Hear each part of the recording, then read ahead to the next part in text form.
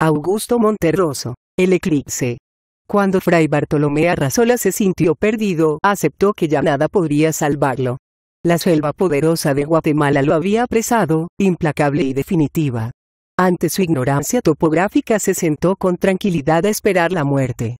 Quiso morir allí, sin ninguna esperanza, aislado, con el pensamiento fijo en la España distante, particularmente en el convento de los Abrojos, donde Carlos V condescendiera una vez a bajar de su eminencia para decirle que confiaba en el celo religioso de su labor redentora. Al despertar se encontró rodeado por un grupo de indígenas de rostro impasible que se disponían a sacrificarlo ante un altar, un altar que a Bartolomé le pareció como el lecho en que descansaría, al fin, de sus temores, de su destino, de sí mismo. Tres años en el país le habían conferido un mediano dominio de las lenguas nativas. Intentó algo. Dijo algunas palabras que fueron comprendidas. Entonces floreció en él una idea que tuvo por digna de su talento y de su cultura universal y de su arduo conocimiento de Aristóteles. Recordó que para ese día se esperaba un eclipse total de sol.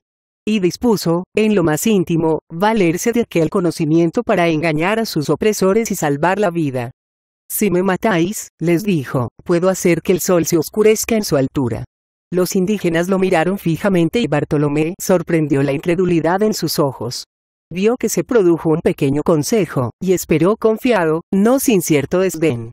Dos horas después el corazón de Fray Bartolomé Arrasola chorreaba su sangre vehemente sobre la piedra de los sacrificios, brillante bajo la opaca luz de un sol eclipsado, mientras uno de los indígenas recitaba sin ninguna inflexión de voz, sin prisa, una por una, las infinitas fechas en que se producirían eclipses solares y lunares, que los astrónomos de la comunidad maya habían previsto y anotado en sus códices sin la valiosa ayuda de Aristóteles.